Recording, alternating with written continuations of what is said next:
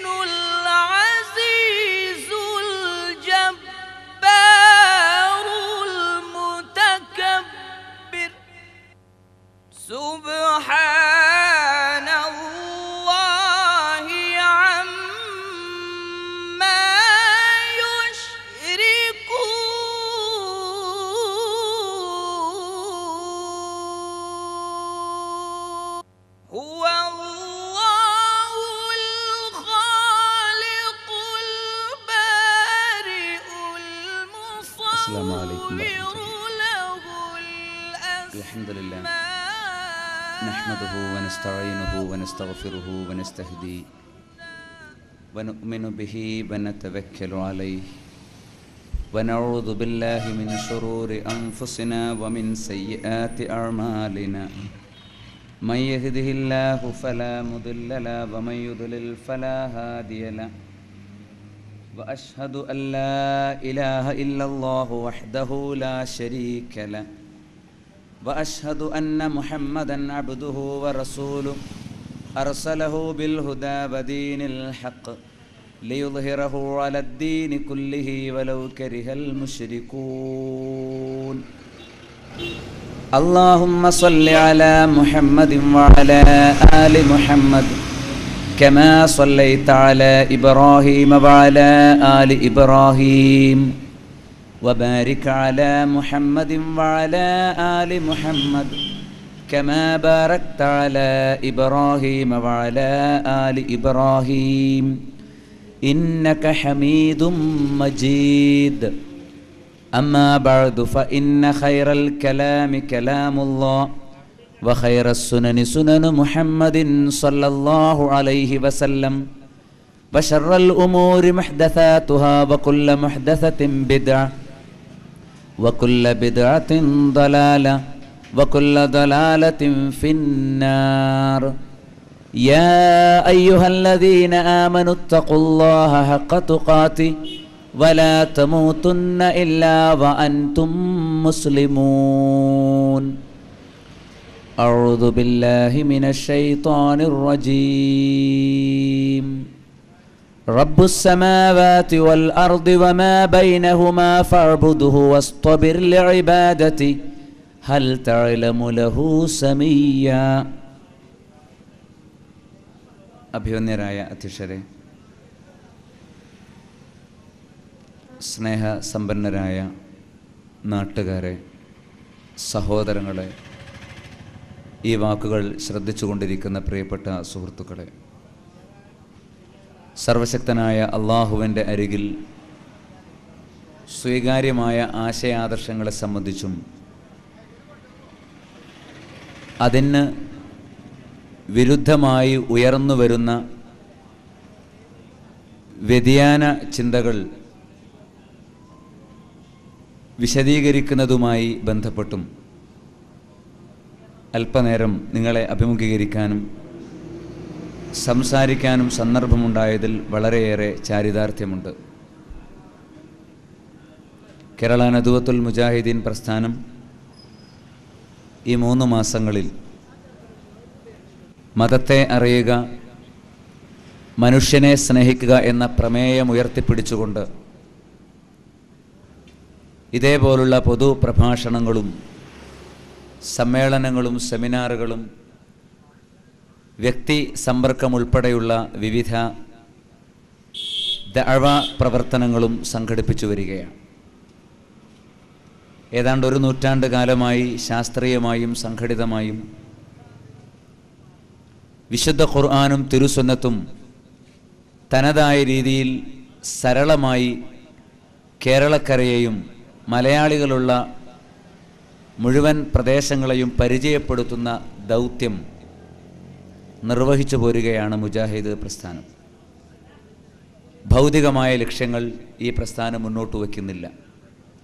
വരാനിരിക്കുന്ന തെരഞ്ഞെടുപ്പ് മുന്നിൽ കണ്ട് ഈ പ്രസ്ഥാനത്തിന്റെ സ്ഥാനാർത്ഥികൾക്കോ ഈ പ്രസ്ഥാനം പിന്തുണയ്ക്കുന്ന ഏതെങ്കിലും പാർട്ടികൾക്കോ മൊത്തമായോ ചില്ലറയായോ വോട്ട് വധിച്ചു കൊടുക്കണം എന്ന ആഹ്വാനവുമായിട്ടല്ല ഇത്തരം ക്യാമ്പുകൾ. അതേപോലെ ഏതെങ്കിലും അക്ബറുകളുടെ പരിസരങ്ങളിൽ സ്ഥാപിച്ചു വച്ചിരിക്കുന്ന ഭണ്ഡാരപ്പെട്ടികൾക്ക് പകരമായി ഈ പ്രസ്ഥാനത്തിന്റെ സ്ഥാപനങ്ങൾക്കോ പള്ളികൾക്കോ അരികിൽ സ്ഥാപിച്ച ഭണ്ഡാരപ്പെട്ടികളിലേക്കാകണം നിങ്ങളുടെ പണം നിക്ഷേപിക്കേണ്ടത് എന്ന് ആവശ്യപ്പെടാനുമല്ല ഈ പ്രസ്ഥാനത്തിന്റെ പരിപാടികളും ക്ഷണവും. മുഴുവൻ പ്രവാചകന്മാരും ഉയർത്തിപ്പിടിച്ചതുപോലെ ഇന്ന അജിരിയ ഇല്ല അല റബ്ബിൽ ആലമീൻ. സർവ ലോകരക്ഷകനായ അള്ളാഹുവിങ്കലാണ് പ്രതിഫലം കാക്ഷിക്കുന്നത്. മരണാനന്തര ജീവിതത്തിന് പ്രാമുഖ്യം കൽപ്പിക്കുകയും മരണാനന്തര വിജയം ഉറപ്പുവരുത്താൻ ഉതകുന്ന ആശയാദർശങ്ങളെ പരിചയപ്പെടുത്തുകയും ചെയ്യുക എന്ന ആത്മാർത്ഥമായ ദൗത്യമാണ് ഈ പ്രസ്ഥാനത്തിനും അതിന്റെ പ്രബോധകന്മാർക്കും നിർവഹിക്കാനുള്ളത്.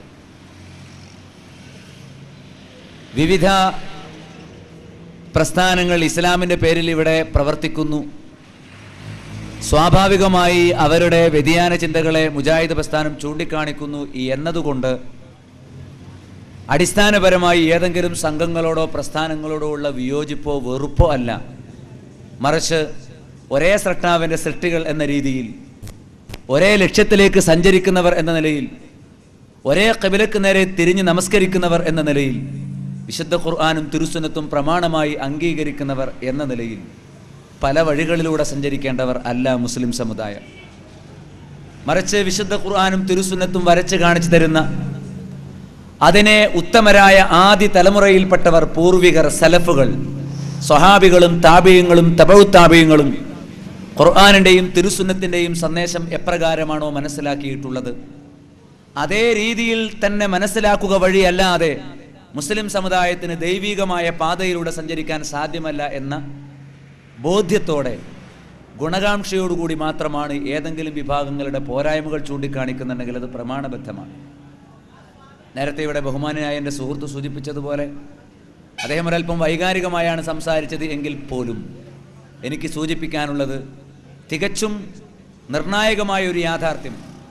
പ്രമാണബദ്ധമായി നമുക്ക് നമുക്കിടയിലുള്ള തർക്കങ്ങളും പ്രയാസങ്ങളും ചർച്ച ചെയ്യാം. തർക്കങ്ങൾ എന്തെങ്കിലും സംസാരിച്ചു തുടങ്ങുമ്പോഴേക്കും ഓ ഇവർ തർക്കത്തിന്റെ ആൾക്കാർ തൊട്ടതിനും പിടിച്ചതിനും പ്രശ്നം ഉണ്ടാക്കുന്ന ആൾക്കാർ ഒരു നായ മൂങ്ങിയാൽ പോലും അതിൽ തൗഹീദുണ്ടോ ശിർക്കുണ്ടോ എന്ന് പരിശോധിക്കുന്നവരാണ് എന്നാണ് മാധ്യമം ദിനപത്രം മുജാഹിദ് പ്രസ്ഥാനത്തെക്കുറിച്ച് എഴുതിയത്. ആവട്ടെ. ഏതായാലും തൗഹീദും ശിർക്കും അല്ലേ ഞങ്ങൾ ചിന്തിക്കുന്നുള്ളൂ. തൗഹീദും ശിർക്കും ജീവിതത്തിന് നിർണായകമായ ഒരു വിഷയമല്ല എന്ന് പറയാൻ ഇവർക്ക് സാധിക്കുമോ? നരകം നിർബന്ധമാക്കപ്പെടുന്ന ഒരേ ഒരു സംഗതി ശിർക്കാണ്. സ്വർഗത്തിൽ പ്രവേശനം തടയപ്പെടുന്ന എന്നേക്കും തടയപ്പെടുന്ന ഒരേ ഒരു സംഗതി ശിർക്കാണ്. ആ ശിർക്ക് എന്താണ് എന്ന് വിശദീകരിക്കുന്നിടത്ത് അഭിപ്രായ വ്യത്യാസങ്ങൾ ഉണ്ടെങ്കിൽ എന്താണ് ശിർക്ക് എന്ന് പ്രമാണബദ്ധമായി തിരിച്ചറിയാൻ ശ്രമിക്കുക എന്നതാണ് നമ്മുടെ ബാധ്യത. അതുകൊണ്ട് അതൊരു മോശമായ സംഗതിയാണ്. അതേക്കുറിച്ചുള്ള പഠനം ചർച്ച ചിന്ത ഇസ്ലാമിനെ കുറിച്ച് അറിയുന്നവരാരും പറയുമെന്ന് തോന്നുന്നില്ല. ഇന്നഹു മനുഷ്യർക്ക് ബില്ലാഹി ഫഖദ് ഹറമല്ലാഹു അലൈഹിൽ ജന്ന. ആരാണോ ആരാധനയിൽ പങ്കുചേർക്കുന്നത് ബഹുദൈവത്വം സ്വീകരിക്കുന്നത് അവർക്ക് സ്വർഗം നിഷിദ്ധമാക്കിയിരിക്കുന്നു. വമാഹുന്നാർ അവന്റെ സങ്കേതം നരകാഗ്നിയാണ്.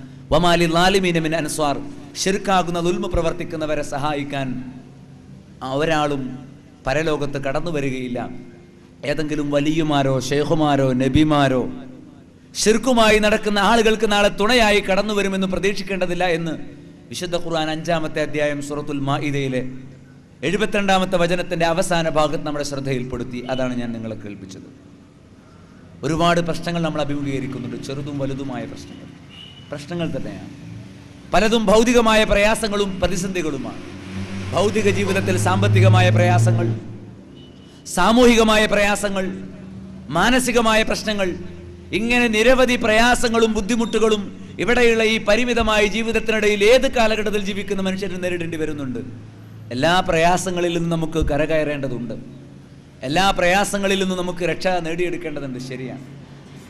ജമാഅത്തെ ഇസ്ലാമിക്കാരും എൻ ഡി എഫുകാരും പോപ്പുലർ ഫ്രണ്ടുകാരും ഒക്കെ ചോദിക്കുന്നത് മുജാഹിദ് പ്രസ്ഥാനത്തെ ഒരേ രീതിയിൽ അവർ നേരിടുന്നു. എന്താണ് ഇൻഷാ നിങ്ങൾക്ക് നേരിട്ട് ദർശിക്കാം. അവർ ചോദിക്കുന്ന ചോദ്യം നിങ്ങൾക്ക് ഈ പൊതുപ്രശ്നങ്ങളൊന്നും ഒരു വിഷയമല്ല. മനുഷ്യാവകാശ പ്രശ്നം മുജാഹിദ് പ്രസ്ഥാനത്തിന് ഒരു അജണ്ടയേ അല്ല.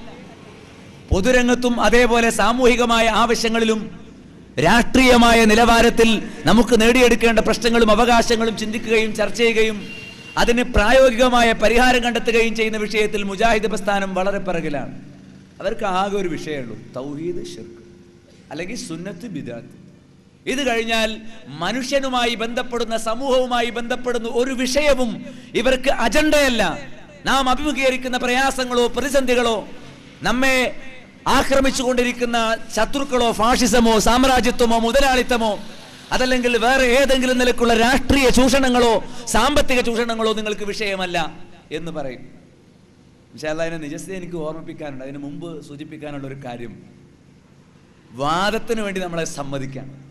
എന്നാലും ഞാൻ ചോദിക്കട്ടെ നരകത്തിൽ എക്കാലത്തേക്കും വെന്തുരുകുക എന്ന് പറയുന്നത് ഈ സമൂഹം അഭിമുഖീകരിക്കുന്ന ഒരു പ്രശ്നമല്ല എന്നാണോ സോളിഡാരിറ്റിക്കാരൻ മനസ്സിലാക്കിയത് എൻ ഡി എഫുകാരൻ മനസ്സിലാക്കിയത് ജമാഅത്തെ ഇസ്ലാമിക്കാരൻ മനസ്സിലാക്കിയത്?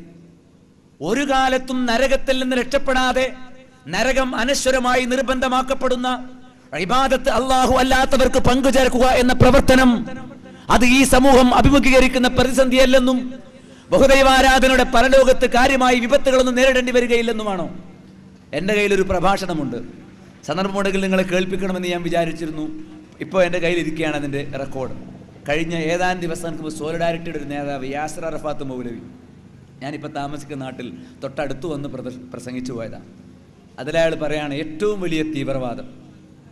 ഏറ്റവും വലിയ തീവ്രവാദം ബഹുദൈവാരാധന സിദ്ധാന്തം സ്വീകരിക്കുന്ന ഒരു ബഹുഭൂരിപക്ഷം ജീവിക്കുന്ന ജനതയിൽ വന്ന് നിങ്ങൾ ഏകദൈവാരാധന മാത്രമേ സ്വീകരിക്കാവൂ എന്ന് പറയലാണ്. ഏറ്റവും വലിയ തീവ്രവാദം ബഹുദൈവത്വ ആശയം സ്വീകരിച്ച ഒരു സമൂഹത്തിന്റെ ഇടയിലേക്ക് വന്ന് നിങ്ങൾ ഏകദൈവ ആരാധന മാത്രമേ സ്വീകരിക്കാവൂ എന്ന് ഷടിക്കലാണ് അതിലേക്ക് അവരെ ക്ഷണിക്കലാണ്. എന്ന് യാതൊരു ഉളുപ്പും മാനവുമില്ലാതെ ഇസ്ലാമിക പ്രസ്ഥാനത്തിന്റെ പ്രവർത്തകനാണ് എന്ന് പരിചയപ്പെടുത്തിയ ഒരു വ്യക്തി സോളിഡാരിറ്റിയുടെ ഒരു യാസർ അർഫാത്ത് മൂലയിൽ വന്ന് കക്കാട് പരിസരത്ത് കരിമ്പിൽ പ്രദേശത്ത് ഈ കഴിഞ്ഞ ആഴ്ചയിൽ വന്ന് പ്രസംഗിച്ചു പോയി ഇൻഷാല്ല അതിന് മറുപടി അവിടെ തന്നെ പറയുന്നുണ്ട്. അവിടെ ഞാനത് വിശദീകരിക്കാം. എന്താ മനസ്സിലാക്കിയത്?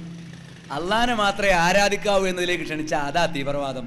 കാരണം ഏത് മതവും അനുസരിച്ച് ജീവിക്കാൻ ഇസ്ലാം അനുവാദം നൽകുന്നുണ്ട് പോൽ.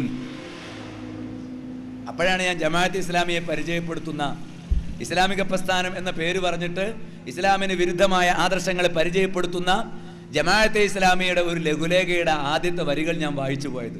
ഇത് ഒരു മതപ്രസ്ഥാനമല്ല. ഇത് ഒരു രാഷ്ട്രീയ പ്രസ്ഥാനമല്ല. ഞങ്ങളോട് സഹകരിക്കാവുന്ന വ്യത്യസ്ത മേഖലകളിൽ ആർക്കും ഞങ്ങളോട് സഹകരിക്കാം. അതുകൊണ്ട് ഹിന്ദുവിനും ക്രിസ്ത്യാനിക്കും അതേപോലെ തന്നെ മറ്റു മതസ്ഥർക്കും യുക്തിവാദിക്കുമൊക്കെ ജമാഅത്തെ ഇസ്ലാമിയിൽ എന്താണ്? പ്രവർത്തിക്കാൻ വകുപ്പുണ്ട്. അപ്പോൾ എല്ലാവർക്കും ഉൾക്കൊള്ളാവുന്ന കുറച്ച് അജണ്ടയാണ് ഞങ്ങൾക്ക്. അതിനാ ഭൗതിക അജണ്ട എന്ന് പറയുന്നത് പരലോകത്തേക്ക് എത്തൂല. ഹിന്ദുവും മുസ്ലിമും ക്രിസ്ത്യാനിയും ബഹുദൈവാരാധകനും ഏകദൈവാരാധകനും യുക്തിവാദിയും എല്ലാം പ്രവേശിക്കുന്ന ഒരു സ്വർഗം ഏതാണ് എന്ന് ഇന്ത്യൻ ജമാഅത്ത് ഇസ്ലാമിയുടെ നേതാക്കൾ ഞങ്ങൾക്കൊന്ന് പരിചയപ്പെടുത്തി തരണം. ഞങ്ങൾ പറയുന്നില്ല. ഇസ്ലാഹി പ്രസ്ഥാനം ജനങ്ങളോട് സ്വീകരിക്കണമെന്ന് പറയുന്ന ആദർശം ഒരു ഹിന്ദുവിന് അവന്റെ ആദർശം ഉൾക്കൊണ്ടുകൊണ്ട് ഉൾക്കൊള്ളാൻ പറ്റിയതാണ്. ഒരു ക്രിസ്ത്യാനിക്ക് ക്രിസ്ത്യാനിയായിക്കൊണ്ട് ഉൾക്കൊള്ളാൻ പറ്റിയതാണ്. എന്ന് നമുക്ക് നമ്മെ സംബന്ധിച്ചിടത്തോളം നാം ഒരിക്കലും അതേ സംബന്ധിച്ച് മനസ്സിലാക്കുന്നില്ല. നേരെ മറിച്ച് അവരുമൊക്കെയായി അടിസ്ഥാനപരമായ അഭിപ്രായ വ്യത്യാസങ്ങളുണ്ട്. അവരൊക്കെയായി യോജിക്കാവുന്ന മേഖലകളുണ്ട്. അതിൽ യാതൊരു സംശയവുമില്ല. എന്നാൽ ഇവിടുത്തെ ഇസ്ലാം അല്ലാത്ത വേറെ ഏതെങ്കിലും ചിന്താധാരകളുമായി ഏതെങ്കിലും തത്വശാസ്ത്രങ്ങളുമായി ഏതെങ്കിലും മതവിഭാഗങ്ങളുമായി യോജിച്ചു പോകാവുന്ന ഒരു വിഷയവുമില്ല എന്ന് വളരെ വ്യക്തമായി തീവ്രവാദപരമായി അജണ്ട അവതരിപ്പിച്ച യഹവാനി പ്രസ്ഥാനങ്ങളും മതരാഷ്ട്രവാദ പ്രസ്ഥാനങ്ങളും പല പേരുകളിൽ ഇണങ്ങിയും പിണങ്ങിയുമൊക്കെ അവർ പ്രവർത്തിച്ചു കൊണ്ടിരിക്കുമ്പോൾ അവയുടെ പുതിയ വളർന്നു വരുന്ന നേതാക്കന്മാർ വന്നിട്ട് പറയുന്നു ഏകദൈവാരാധനയിലേക്ക് ക്ഷണിക്കലാണ് തീവ്രവാദം. കാരണം അവരെ പറ്റി തീവ്രവാദികളാണെന്ന് ഇപ്പൊ ജനങ്ങൾ മനസ്സിലാക്കാൻ തുടങ്ങി. ജനങ്ങൾ അവരെ ബേസിലേക്ക് തള്ളാൻ തുടങ്ങി. അപ്പൊ ഇനി തീവ്രവാദി എന്നുള്ള മുഖമുദ്ര ആർക്ക് കൊടുക്കണം? തികച്ചും സമാധാനപരമായ അന്തരീക്ഷത്തിൽ ആരോടും പോരടിക്കാനില്ലാതെ പ്രവാചകന്മാർ എപ്രകാരമാണോ ഏകദൈവാരാധന പഠിപ്പിച്ചത്? പ്രമാണങ്ങൾ അവതരിപ്പിക്കുക ചിന്തിക്കാൻ അവസരം കൊടുക്കുക അങ്ങനെ വ്യക്തമായ ദൈവീകമായ പ്രമാണങ്ങൾ മുൻനിർത്തി ബുദ്ധിയെ പ്രവർത്തനക്ഷമമാക്കി ഏകദൈവാരാധനയല്ലാതെ പരലോകമോക്ഷത്തിന് മറ്റൊരു മാർഗവുമില്ല എന്ന് ശാന്തമായ അന്തരീക്ഷത്തിൽ പരിചയപ്പെടുത്തുന്ന പ്രവർത്തനമാണ് ഇന്നോളം മുജാഹിദ് പ്രസ്ഥാനം നിർവഹിച്ചു പോന്നിട്ടുള്ളത് എന്ന് കാണാൻ സാധിക്കും.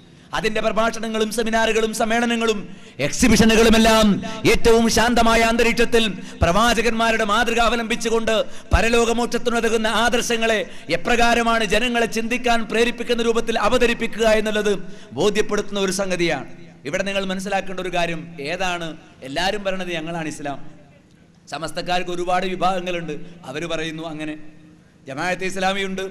ആദർശത്തിൽ ചില നിലപാടുകൾ സ്വീകരിച്ചുകൊണ്ട് അവർ യോജിച്ചും വിയോജിച്ചും പോകുന്ന സിമിയും സിമിയുടെ പുതിയ രൂപമായ എൻ ഡി എഫും അതേപോലെ ജമാഅത്തെ ഇസ്ലാമിയുടെ തന്നെ സോളിഡാരിറ്റിയും മറ്റു കാര്യങ്ങളുമുണ്ട്. തബലീഗ് ജമാഅത്തുണ്ട്. ഇസ്ലാമിന്റെ പേര് പറയുന്ന ഇസ്ലാമിക ലോകം മുഴുവൻ ഇസ്ലാമിനെ പുറത്തു നിർത്തിയിരിക്കുന്ന ഖാദിയാനികളുണ്ട്. അതേപോലെ ഒന്നാം ഷഹാദത്തിനെ പോലും കൃത്യമായി ഉൾക്കൊള്ളാതെ രണ്ടാം ഷഹാദത്തിനെ പരസ്യമായി നിരാകരിച്ചുകൊണ്ട് ചേകനൂരികളുണ്ട്. ഏതായിരുന്നാലും ശരി എല്ലാവരും തങ്ങളെക്കുറിച്ച് പരിചയപ്പെടുത്തുന്നത് ഞങ്ങൾ യഥാർത്ഥ ഇസ്ലാമിന്റെ വക്താക്കളാണ് ഖുർആാനിന്റെയും സുന്നത്തിന്റെ ആൾക്കാരാണ്. എന്നാൽ നിങ്ങൾക്കറിയോ? സ്വർഗത്തിലേക്ക് പോകുന്നത് ആരാ? തർക്ക വിഷയം ഉണ്ടായാൽ ഓരോരുത്തരും അവനവന്റെ ഭാഗമായിട്ട് പോയിക്കോട്ടെ എന്നൊരു നിലപാട് ഇസ്ലാമിലുണ്ടോ? ഇല്ല. ഇൻ തനാസഹത്തും ഫിഷയും ഫറുദ്ദൂഹു ഇലല്ലാഹി റസൂൽ അള്ളാഹുവിലേക്ക് മടക്കണം റസൂലിലേക്ക് മടക്കണം അല്ലേ? റസൂലിലേക്ക് മടക്കണം. നിങ്ങൾ എന്റെ കാലശേഷം ഇനി ജീവിച്ചിരിക്കുകയാണ്. സ്വഹാബത്തിനോട് പ്രവാചകൻ പറയുന്നു ഇന്നഹു എന്റെ കാലശേഷം നിങ്ങൾ ഇനിയും ജീവിച്ചാൽ. ഈ സമൂഹത്തിൽ ഒരുപാട് അഭിപ്രായ വ്യത്യാസങ്ങൾ കാണും. വിവിധ ചിന്താധാരകൾ ഇസ്ലാമിന്റെ പേരിൽ ഉണ്ടാകും അപ്പോൾ ഓരോരുത്തരും അവരവരുടെ മാർഗവുമായി പോയിക്കൊള്ളട്ടെ എന്ന നിലപാടല്ല. മറിച്ചു ഫാലയിക്കും ബി ആ സമയത്ത് നിങ്ങൾ എന്റെ ചര്യയാണ് മുറുകെ പിടിക്കേണ്ടത്. വസുന്നത്തിൽ റാഷിദീനൽ നിങ്ങൾ എന്റെ പിന്മുറക്കാരുടെ പിന്മുറക്കാരെന്ന് പറഞ്ഞാൽ എല്ലാവരുമാണോ? അല്ല. സന്മാർഗചാരികളായ മറ്റുള്ളവരെ നേർവഴിക്ക് നയിക്കാൻ യോഗ്യതയുള്ള പ്രവാചകന്റെ പിന്മുറക്കാരാരാ? നബി സല്ലല്ലാഹു അലൈഹി വസല്ലം തന്നെ വ്യക്തമാക്കട്ടെ. ഹൈറുന്നാസ് ഖർനി എന്റെ തലമുറയാണ് സ്വഹാബത്തിൽ ഏറ്റവും മികച്ചവർ പൊതുജനങ്ങളിൽ ഏറ്റവും മികച്ചവർ. അതേപോലെ തന്നെ വല്ലദീന യലു പിന്നീട് സുമ്മല്ലദീന യലൂനഹും തൊട്ടു പിറകെ വരുന്ന തലമുറ സുമ്മല്ലദീന യലൂനഹും പിന്നെ തൊട്ടടുത്തു വരുന്ന തലമുറ. അപ്പോ പ്രവാചകന്റെ കൂടെ ദീന് പ്രവാചകൻ നേരിട്ട് പഠിച്ച സ്വഹാബികൾ സ്വഹാബികളിൽ നിന്ന് ദീന് പഠിക്കാനും ഇസ്ലാമിക ആദർശം ഉൾക്കൊണ്ട് അതിന്റെ പ്രചാരകരായി തരാനും ഭാഗ്യം ലഭിച്ച താപികൾ താപികളെ നേരിൽ കണ്ട് ദീൻ പഠിക്കാനും അവരുടെ ആദർശം ജീവിതത്തിൽ പകർത്താനും ഭാഗ്യം ലഭിച്ച തപൗ താപീയങ്ങൾ. ഇങ്ങനെ ആദ്യത്തെ മൂന്ന് തലമുറയിൽ ജീവിച്ച ആ സമൂഹം അൽ ജമാഅത്ത്. ആ സംഘം എന്ന് പറഞ്ഞാൽ ഏതാ? റസൂലുള്ള പറഞ്ഞു മുൻകഴിഞ്ഞു പോയ തലമുറകൾ ഭിന്നിച്ചു പോയിട്ടുണ്ട് ശിഥിലമായി പോയിട്ടുണ്ട്. മൂസാ നബിയുടെ അനുചരന്മാർ പിൽക്കാലത്ത് എഴുപത്തിയൊന്ന് കക്ഷികളായി. അതിൽ മൂസാ നബിയുടെ പാത പിന്തുടരാനുണ്ടായത് ഒരു കക്ഷി. എഴുപത് കക്ഷികളും പിഴച്ചുപോയി നരകാവകാശികളായി. മൂസാ നബിയുടെ പാത പിന്തുടർന്നവർ ഈസാ നബി വന്നപ്പോൾ അദ്ദേഹത്തിന്റെ അനുയായികളായി. ഈസാ നബിയുടെ അനുചരന്മാർ അഭിപ്രായ വ്യത്യാസങ്ങൾ എഴുപത്തിരണ്ട് തരം ചിന്താധാരകളുണ്ടായി. അതിൽ എഴുപത്തിയൊന്നും പിഴച്ചുപോയി. ഒന്ന് മാത്രം ഈസാ നബിയുടെ അതേ ആദർശം ഉൾക്കൊണ്ടുകൊണ്ട് ജീവിക്കാൻ സന്നദ്ധമായി മുഹമ്മദ് സല്ലാ അലൈഹി സ്വലം കടന്നു വന്നപ്പോൾ അവർ മുഹമ്മദ് നബി സല്ലാസ്ലം ദീനിലേക്ക് പ്രവേശിച്ചു. എന്നാൽ മുഹമ്മദ് നബി പറഞ്ഞത് ഇനി എന്റെ കൂട്ടത്തിൽ അഭിപ്രായ വ്യത്യാസം ഉണ്ടാവുകയില്ല എന്നല്ല. എന്റെ ഉമ്മത്ത് എഴുപത്തിമൂന്ന് വിഭാഗങ്ങളായി പിരിയും. എല്ലാവരും സ്വർഗത്തിൽ എന്നല്ല മറിച്ച് പ്രവാചകൻ പ്രഖ്യാപിച്ച ഒരു കാര്യം കുല്ലുഹും ഫിന്നാർ. എല്ലാവരും നരകാഗ്നിയിലാണ് ഇല്ലൽ വാഹിദ ഒന്നൊഴികെ ഏതാണ് ആ ഒന്ന് എന്ന ചോദ്യത്തിന് പ്രവാചകൻ നൽകിയ ഉത്തരം അൽ ജമാഅത്ത് ഏതാണ് അൽ ജമാഅത്ത് ജമാഅത്ത് ഇസ്ലാമിയാണോ? തബ്ലീഗ് ജമാഅത്താണോ? സമസ്തക്കാരന്റെ ജമാഅത്താണോ? അതല്ലെങ്കിൽ ഏതെങ്കിലും ഇവിടെയുള്ള സംഘടനകളുടെ ജമാഅത്താണോ? അല്ല. മറ്റൊരിക്കൽ പ്രവാചകൻ അതേക്കുറിച്ച് വിശദീകരിച്ചു. ഈ ദിവസം ഞാനും എന്റെ സ്വഹാബികളും ഏതൊരാദർശത്തിൽ നിലകൊള്ളുന്നുവോ? അപ്പൊ മുഹമ്മദ് നബിയും സഹാബത്തും ഖുർആാനും ഖുർആാനോടൊപ്പം അള്ളാഹു വഹിയായി അവതരിപ്പിച്ച ഖുർആാനിന്റെ വിശദീകരണമായ ഹിക്മത്ത് അഥവാ സുന്നത്ത് അത് രണ്ടും അനുസരിച്ചുകൊണ്ട് എപ്രകാരം ആദർശം സ്വീകരിച്ചുവോ എപ്രകാരം ജീവിതം നയിച്ചുവോ സംസ്കാരം ഉൾക്കൊണ്ടുവോ അവർ ആരാധന എന്ന് പറഞ്ഞപ്പോൾ ഇബാദത്ത് എന്ന് പറഞ്ഞപ്പോൾ എന്തു മനസ്സിലാക്കി അവർ സുന്നത്തി എന്ന് പറഞ്ഞപ്പോൾ എന്തു മനസ്സിലാക്കി സ്വർഗത്തിലേക്കുള്ള വഴിയെക്കുറിച്ച് എന്തു മനസ്സിലാക്കി? ആ മാർഗം അവലംബിക്കുന്ന ആളുകൾക്ക് മാത്രമേ വരും കാലങ്ങളിൽ അഹ്ലുസുന്നത്തി വൽ ജമാഅത്തിന്റെ വക്താക്കളാകാൻ സാധിക്കൂ. അഹ്ലുസുന്നത്തി വൽ ജമാഅത്ത് വിശുദ്ധ ഖുർആാനും തിരുസുന്നത്തും അനുസരിച്ച് അത് രണ്ടും പൂർവികരായ സ്വഹാബികളും താപീയങ്ങളും എപ്രകാരമാണോ മനസ്സിലാക്കിയത്? അതനുസരിച്ച് ജീവിത സംസ്കാരത്തെയും ആദർശത്തെയും ക്രമീകരിക്കുന്നവരാണ്. പ്രവാചകരിൽ നിന്നും സ്വഹാബത്തിൽ നിന്നും പ്രബോധനത്തിന്റെ മാതൃക മനസ്സിലാക്കിയവരാണ്. ജിഹാദി എന്താണെന്നും എപ്പോഴാണെന്നും എങ്ങനെയാണെന്നും പ്രവാചകരിൽ നിന്നും മാതൃക സ്വീകരിച്ച് പഠിച്ചവരാണ് അഖിലുസുന്നത്തി വൽ ജമാഅത്ത്. അഖിലുസുന്നത്തി വൽ ജമാഅത്ത് എന്ന് മുഴത്തിന് മുഴം പറഞ്ഞതുകൊണ്ടായില്ല. സുന്നി എന്ന് പരിചയപ്പെടുത്തിയത് കൊണ്ടായില്ല. അഖിലുസുന്നത്തി വൽ ജമാഅത്തിന്റെ ആശയാദർശങ്ങൾ പ്രമാണബദ്ധമായി ഉൾക്കൊള്ളുന്ന ആളുകൾക്ക് മാത്രമേ നാളെ പരലോകമോക്ഷമുണ്ടാകൂ. ഒരു ദിവസത്തെ നിങ്ങൾ പേടിക്കണം. ഒരാൾ മറ്റൊരാൾക്ക് പ്രയോജനം ചെയ്യാത്ത ദിവസം. ഒരാളുടെയും ശുപാർശ പരിഗണിക്കപ്പെടാത്ത ദിവസം. അതിൽ. പകരമായ പ്രവർത്തനങ്ങൾ ചെയ്യാമെന്ന് പറഞ്ഞാൽ പരിഗണിക്കപ്പെടാത്ത ദിവസം. വലാഹും യുൻസറൂൻ. ആർക്കും മറ്റൊരാളിൽ നിന്ന് സഹായം വന്നെത്താത്ത ഒരു ദിവസം ആ ദിവസത്തെ നിങ്ങൾ സൂക്ഷിക്കണം. അതുകൊണ്ട് മുസ്ലിം ഉമ്മയോട് പ്രത്യേകിച്ചും ബഹുജനങ്ങളോട് പൊതുവായും ഇസ്ലാം പറയുന്നു നിങ്ങൾ ഏറ്റവും പേടിക്കേണ്ടത് ഇപ്പോൾ കണ്ടുകൊണ്ടിരിക്കുന്ന വിപത്തുകളെയല്ല. നിങ്ങൾ ഭയപ്പെടേണ്ടതും രക്ഷാമാർഗം അന്വേഷിക്കേണ്ടതും ഒന്നാമതായി ഇപ്പോൾ അനുഭവിച്ചു കൊണ്ടിരിക്കുന്ന ചൂഷണങ്ങളുമായി ബന്ധപ്പെട്ടല്ല. മറിച്ച് ഇവിടെ നിങ്ങൾ ചൂഷണം ചെയ്യപ്പെട്ടില്ലെങ്കിലും ഇവിടെ നിങ്ങൾക്ക് ശത്രുക്കളില്ലെങ്കിലും ഇവിടെ ഫാഷിസ്റ്റുകളോ സാമ്രാജ്യത്വവാദികളോ ഏതെങ്കിലും നിക്ഷിപ്ത താല്പര്യക്കാരോ നിങ്ങളെ നശിപ്പിക്കാനും ചൂഷണം ചെയ്യാനും വന്നിട്ടില്ലെങ്കിലും ഒരു ദിവസം നിങ്ങൾ ഈ ഭൂമിയിൽ നിന്ന് പിരിഞ്ഞു പോകണം മരിച്ചു പോകണം അതോടുകൂടി യഥാർത്ഥ ജീവിതം ആരംഭിക്കും. എന്നാൽ ആ യഥാർത്ഥ ജീവിതത്തിൽ അനശ്വരമായ നരകാകിലിൽ നിന്ന് കരകയറാനും സ്വർഗത്തിൽ പ്രവേശിക്കാനും ഭാഗ്യമുണ്ടാകണമെങ്കിൽ നേരത്തെ ഞാൻ സൂചിപ്പിച്ച അഹ്ലുസുന്നത്തി വൽ ജമാഅത്തിന്റെ മാർഗം ഉൾക്കൊള്ളുകയും അവരോടൊപ്പമാവുകയും ലാ ഇലാഹ ഇല്ലല്ലയുടെ അടിത്തറയിൽ ജീവിതം നയിക്കുകയും ചെയ്തേ മതിയാകൂ. പക്ഷേ ഖേദകരമെന്ന് പറയട്ടെ ബൽ തുസിറൂനൽ നിങ്ങൾ ഐഹിക ജീവിതത്തിന് പ്രാമുഖ്യം കൊടുക്കുന്നു. നിങ്ങൾ എന്നാൽ അറിയണം പരലോകമാണ് ഏറ്റവും മികച്ചത് അനശ്വരമായത്. ഇവിടെ ഇതാ പല ഇസ്ലാമിക പ്രസ്ഥാനങ്ങളുടെയും മനുഷ്യാവകാശ പ്രസ്ഥാനങ്ങളെന്ന് പരിചയപ്പെടുത്തുന്നവരുടെയും ചിന്തയും ഭയവും അധ്വാനവും ജനങ്ങളെ ഭയപ്പെടുത്തലും സംഘടിപ്പിക്കലും സമാന്തര സേനയുണ്ടാക്കലും എല്ലാം എന്തിനു വേണ്ടിയാണ്?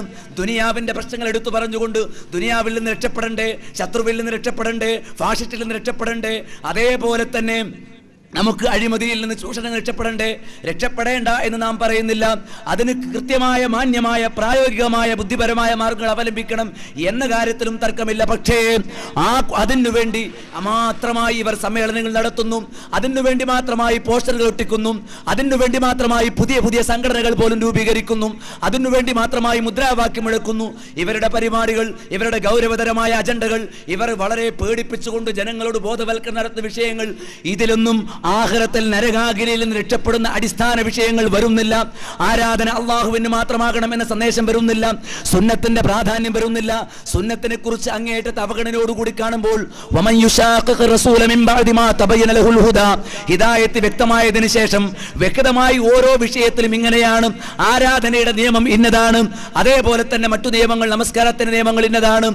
അതേപോലെ ദാനധർമ്മങ്ങളുടെ നിയമം രാഷ്ട്രീയമായ നിയമങ്ങൾ കുടുംബപരമായ നിയമങ്ങൾ സാമ്പത്തികമായ നിയമങ്ങൾ അത് ഇന്നതാണ് എന്ന് വ്യക്തമായാൽ തോന്നിയതുപോലെയാകാമെന്ന് മുജാഹിദ് പ്രസ്ഥാനത്തിന് ഏതായാലും വാദമില്ല.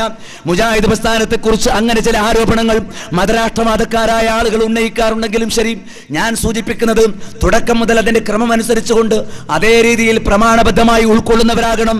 അങ്ങനെ കൃത്യമായി പ്രമാണത്തിന്റെ അടിസ്ഥാനത്തിൽ ഇന്ന ഇന്ന രൂപത്തിലാകണമെന്ന് പഠിപ്പിക്കപ്പെട്ട അതേ രീതിയിൽ തന്നെ ഉൾക്കൊള്ളുകയും പാലിക്കുകയും ചെയ്യുന്ന ആളുകൾക്ക് മാത്രമേ പാരത്രികമായ മോക്ഷമുണ്ടാകൂ എന്ന സന്ദേശം അതാണ് അഹ്ലുസുനത്തി വൽ ജമാഅത്തിന്റെ ആദർശം ഉൾക്കൊള്ളണമെന്ന് പറയുന്നത് ഉദ്ദേശിക്കുന്നത്. എന്നാൽ അഹ്ലുസുനത്തി വൽ ജമാഅത്തിന്റെ ആശയാദർശം പ്രചരിപ്പിക്കപ്പെടുന്നതോടെ ഭൗതികമായി നഷ്ടമുണ്ടാകുന്ന പലരുമുണ്ട്. ഞാൻ പറഞ്ഞില്ലേ?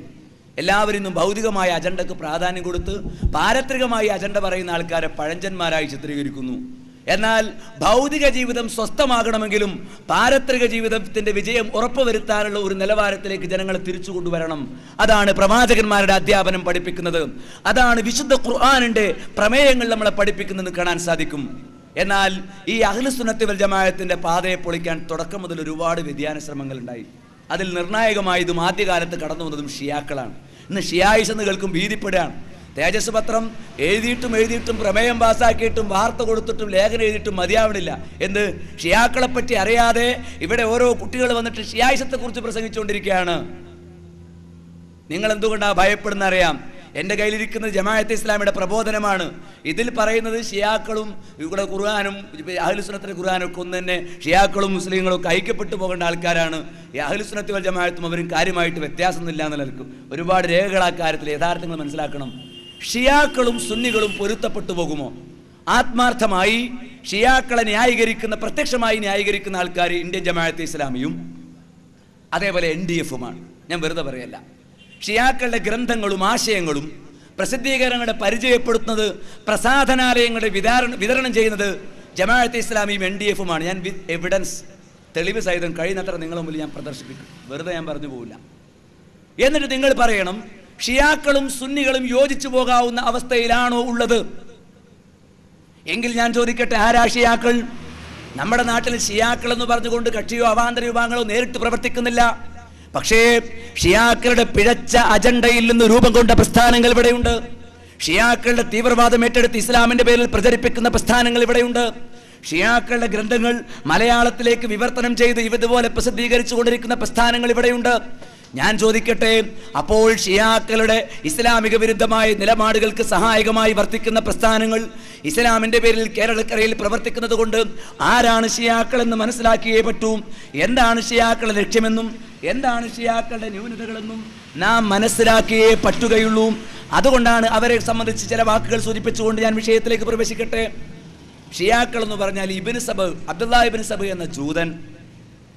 സുഹിയുൻ കുന്നിന്റെ താഴ്വരയിൽ ജൂതന്മാർ നടത്തിയ ഒരു സമ്മേളനത്തിന് അനന്തരഫലമായിട്ട് കടന്നു വന്ന ആളാണ് ഇസ്ലാമിന്റെ തത്വം എന്താണ് അഹുലുസുന്നത്തി വൽ ജമാഅത്തിന്റെ തത്വങ്ങൾ എന്തൊക്കെയാണോ അത് പൊളിക്കലാണ് അയാളുടെ ലക്ഷ്യം.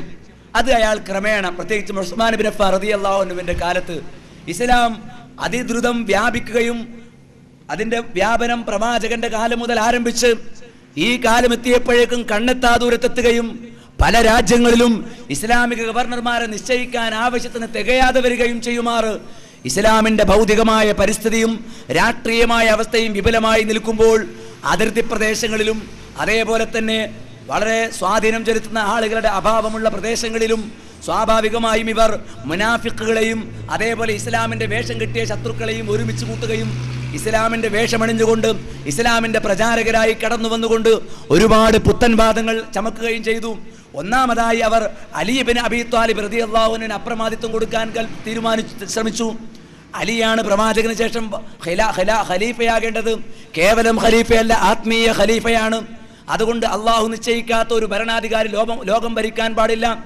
എന്ന തത്വവുമായി ഷിയാ പ്രസ്ഥാനത്തിന്റെ വക്താക്കൾ കടന്നു വന്നു. അവരുടെ ഗ്രന്ഥങ്ങൾ വായിക്കുമ്പോൾ കാണാം. അവരുടെ പ്രസിദ്ധീകരണങ്ങളുടെ കടന്നു പോകുമ്പോൾ നമുക്ക് കാണാൻ സാധിക്കും. എന്താണ് ഇതാ?